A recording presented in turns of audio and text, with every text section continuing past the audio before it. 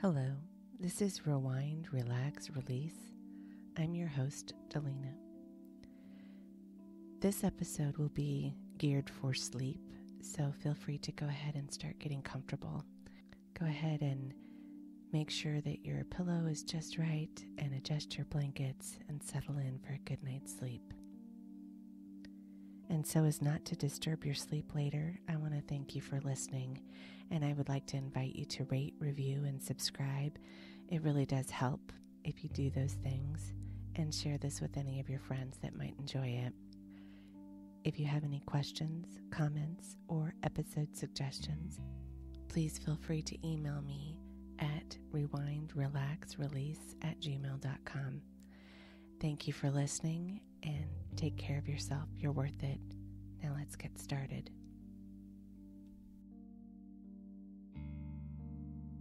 This episode is a reading of an essay by Helen Keller titled Relative Values of the Senses. Relative Values of the Senses. I was once without the sense of smell and taste for several days. It seemed incredible, utter detachment from odors, to breathe the air in and observe never a single scent. The feeling was probably similar, though less in degree, to that of one who first loses sight and cannot but expect to see the light again any day, any minute. I knew I should smell again sometime. Still, after the wonder had passed off, a loneliness crept over me as vast as the air whose myriad of odors I missed.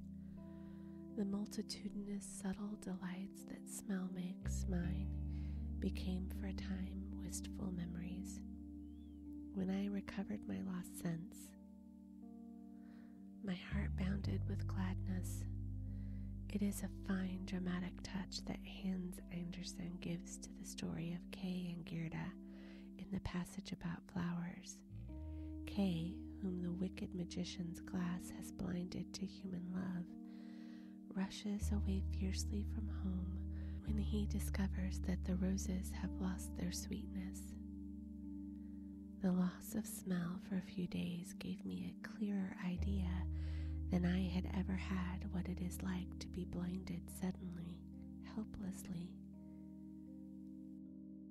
With a little stretch of the imagination, I knew that what it must be when the great curtain shuts out suddenly the light of day, the stars, and the firmament itself.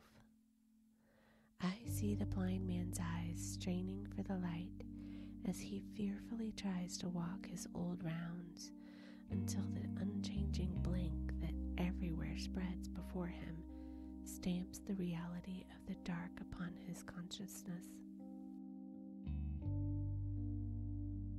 My temporary loss of smell proved to me, too, that the absence of a sense need not dull the mental faculties and does not distort one's view of the world. So I reason that blindness and deafness need not pervert the inner order of the intellect. I know that if there were no odors for me, I should still possess a considerable part of the world. Novelties and surprise would abound. Adventures would thicken in the dark. In my classification of the senses, smell is a little the ear's inferior, and touch is the great deal the eye's superior. I find the great artists and philosophers agree with me in this. Diderot says, Here there is a French passage that I cannot read.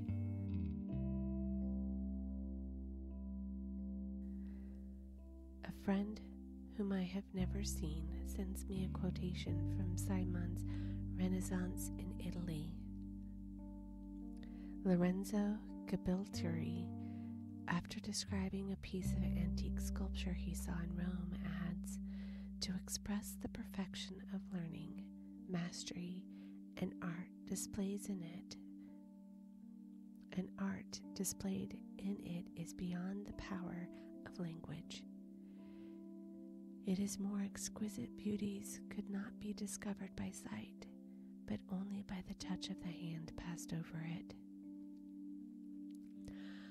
Of another classic marble at Padala, he says, This statue, when the Christian faith triumphed, was hidden in place by some gentle soul who, seeing it so perfect, fashioned with art so wonderful, and with such power of genius, and being moved to reverent pity, caused a specular of bricks to be built, and there within buried the statue, and covered it with a broad slab of stone, that it might not in any way be injured. It has a very many sweet beauties, which the eyes alone can comprehend not, either by strong or tempered light, only the hand by touching them finds them out.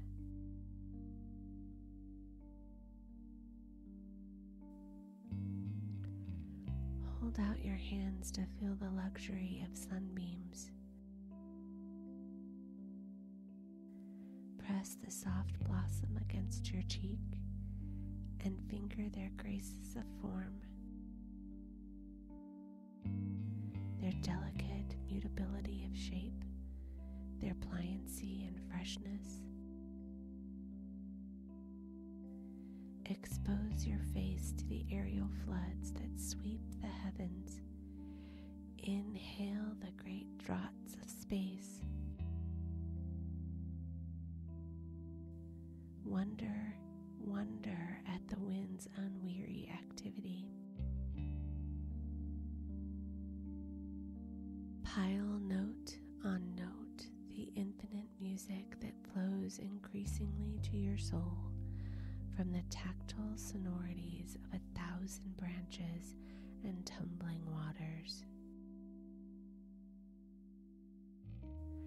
How can the world be shriveled when this most profound emotional sense of touch is faithful to its service?